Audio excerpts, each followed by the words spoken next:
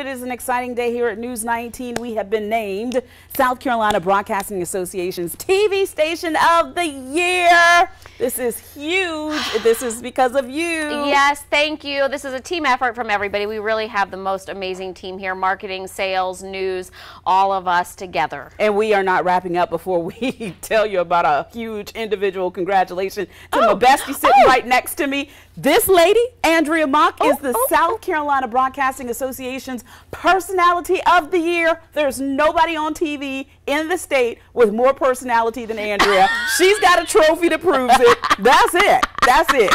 the so. only thing is Darci won it a couple years ago, so she also has the most personality. Um, I and it doesn't really. I was trying to explain that to Brady. I was like, it doesn't mean like best personality, but that's like what they call us. I think you got a great personality. personality. Oh, I think my, you got a great you. personality. So thank you. But we do it every day for you guys. Whitney Sullivan got the award of merit yes. for best personality. We do it for you. We do it with you. We do it because of you. And so thank you so much to every single viewer who tunes into WLTX because again, we wouldn't be here if it weren't for you. We live in the best community in mm -hmm. the mm-hmm. United States, if you ask me, and we are happy to show up to our jobs every day